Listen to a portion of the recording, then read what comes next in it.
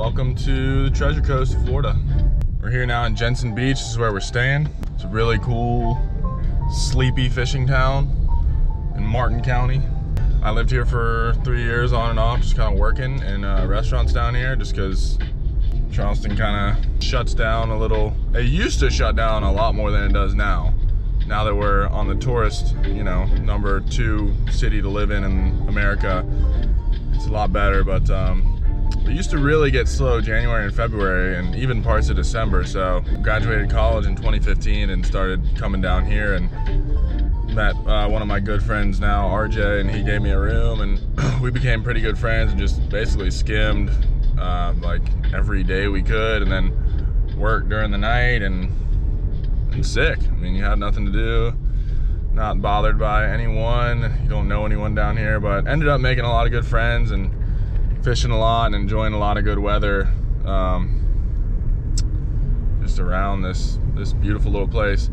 It's not like a crazy amount of money down here. Uh, it's definitely like a town that's owned by snowbirds but in January and February I mean just the Mercedes and Lambos and stuff they all come down from New York and they just load this place with money. So it's it's pretty crazy how like the influx of revenue this place gets from like January to April. It's nuts. Because other than that, it's just like, I mean, and this is not anything derogatory against the Treasure Coast, but it is just like a sleepy little town so much that you almost would think it's like Puerto Rico. Like when I'm here, like when we were driving around, Katie was like, I almost feel like we're in Puerto Rico. I was like, you're not like far off. I mean, Puerto Rico is not a shithole. There's still like nice marinas and really nice just freaking tropical weather and plants all over the place. But it's just a small town. Like you can't build higher than two stories and uh, until you're on the beach and then there's just giant stupid condos and all that crap. So I'm gonna get out there, I'm gonna go to the spot now and wade. Uh, the water's still warm. Mind you, it's February what, 16th, two days after Valentine's Day, and warm. It was 93 yesterday at the beach. We were roasting. I mean, almost like too much. But it's nice to feel because I've definitely been moody with the cold weather in Charleston. Granted, not that cold, but still. It's been tough to fish there. I know it's like, I still love getting out there. Still been catching like some good trout and like a good red every now and then, but I really haven't keyed in on a school that I'm like interested in, interested in because I know where a lot of schools are. It's just like the work to get out there and then the finickiness of the fish, just like annoying. So it just always kind of slows down for me during these times.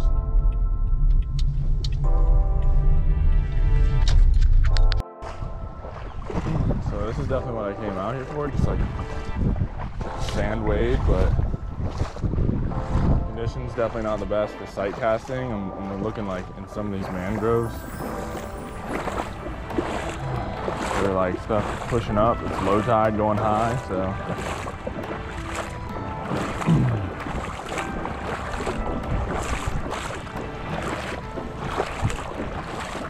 Snook just literally came out of the mangroves. Two of them.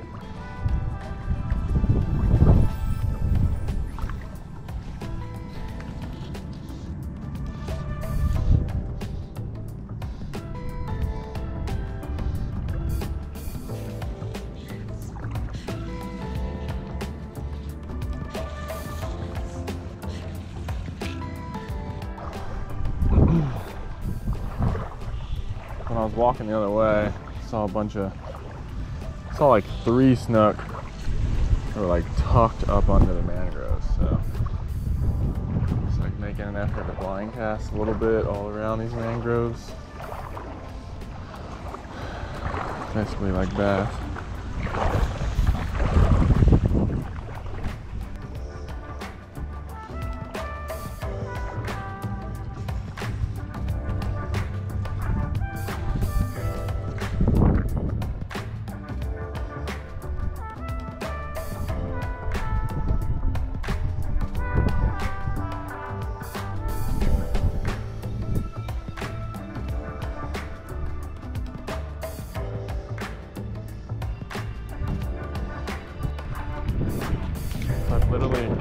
First snook and it starts raining like crazy.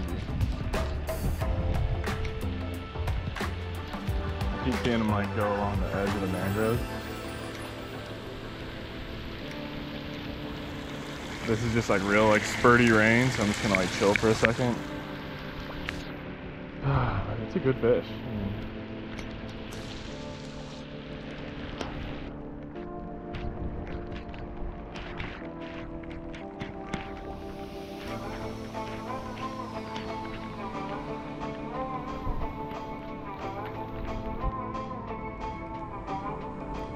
Good size fish too. It's like oh, not a small snook.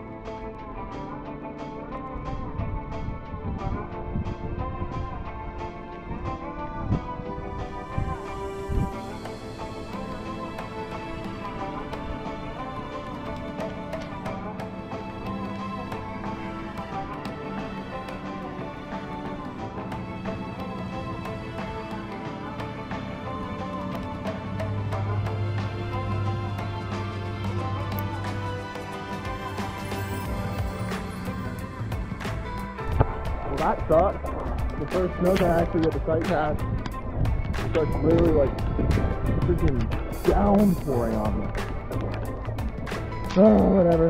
I love this area. Definitely got me back. Um, this is really where I started. Uh, so yeah, other than that, um, it's been pretty tough to see, but he kept on like coming out of the mangroves and then you like see my fly and I'm like, shit, ooh, fish. So Scotty, on and off, you think?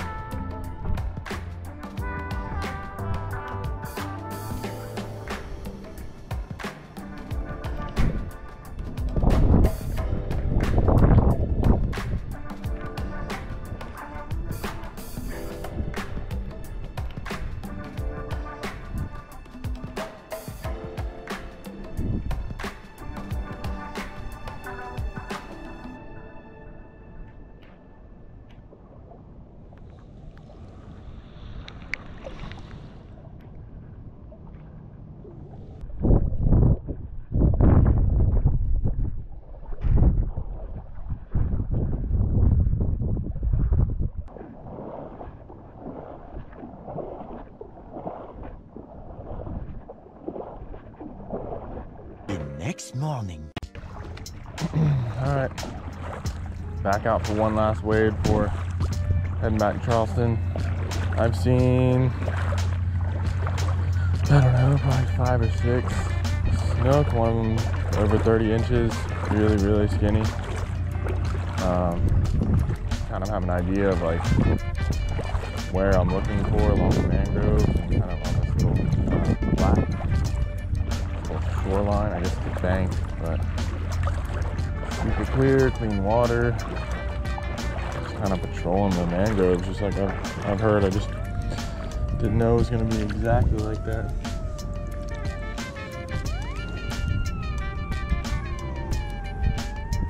Anyway, um, hopefully see something. If not, I'll, I'll be back and just want to figure this place out It's so nice just being out here. Nice. Just then, by sheer coincidence. Hey guys, back again. I have a snook on right now, and it's not a bad fish.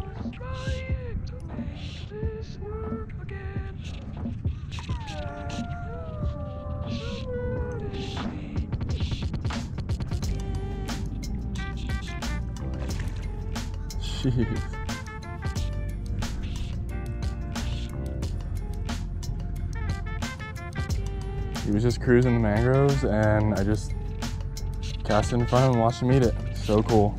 Wow.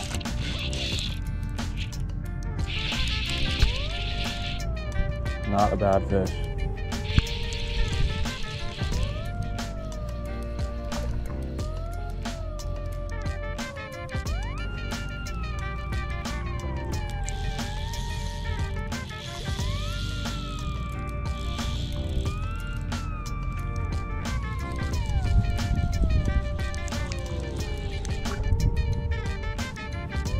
Crazy.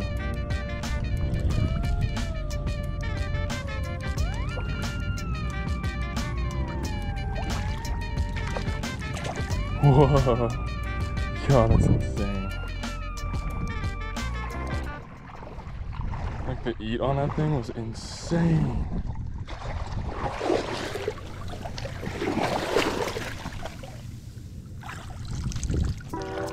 Oh my god, he just spit the hook.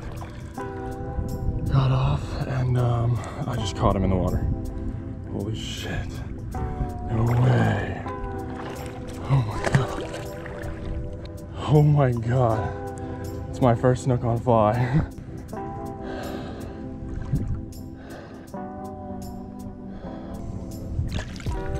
Jeez, that's a good fish.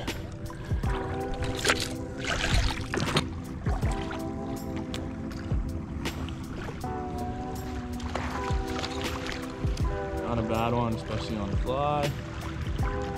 Probably like a 20 inch or something. Not bad.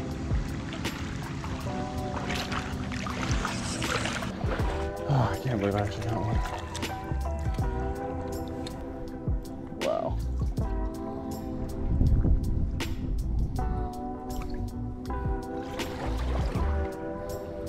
Wow. Oh my god.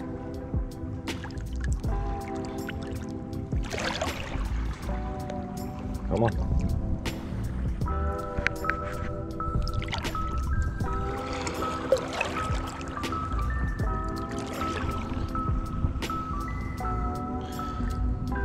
One of the most insane catches of my life.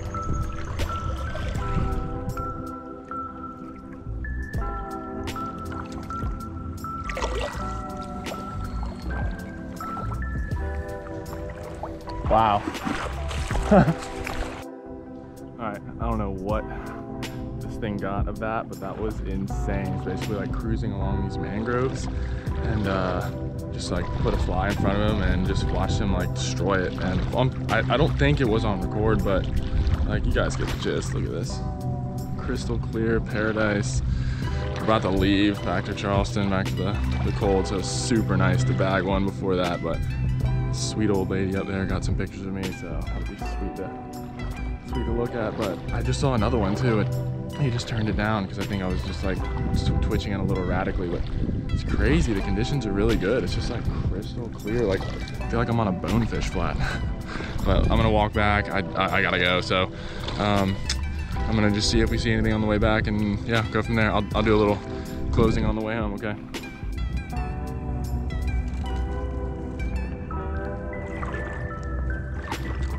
All right, I'm wrapping up. I've, I've seen a couple more snook, but I really don't have time. Katie's gonna kill me as it is. But um, hope you guys enjoyed that. Uh, I know I didn't get the actual eat on camera, but it sucks when you're trying to focus and trying to figure these fish out. So when they're creeping like that, I gotta. You, I mean, anyone, you, you gotta like focus just on the fish. It's like an intense like standoff. So that's why it's nice to not have to worry about a paddleboard or anything. Just wade and see what happens. But like, what a cool fish it is. What a badass fish crazy.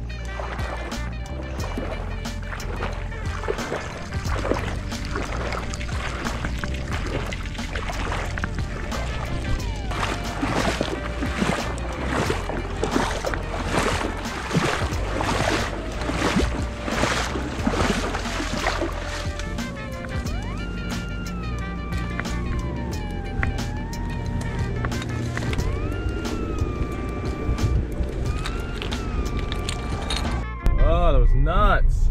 God, what a great way to end this trip. Jeez, all I wanted was one. It makes me think of Hawaii when I was like trying so hard with the bonefish. And then uh, Destin on the Gulf Coast when I was trying so hard for uh, like a snow white redfish off the beach. Just like so nice to like come through with one of these new species. And that was my first snook on fly. And uh, yeah, what a great tropical day in February to uh, to get that going. But I'm gonna head back right now. We're about to head back to Charleston. So I literally last minute of that fish. Thank God Katie let me go.